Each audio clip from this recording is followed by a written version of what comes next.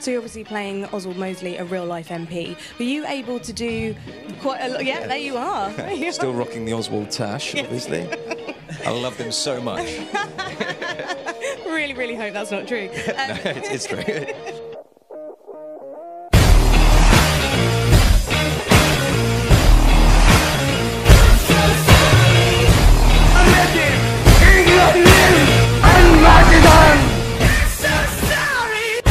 Is there anything else that you would like to see? A lot more of Mosley. yeah, I, I, that's what I want.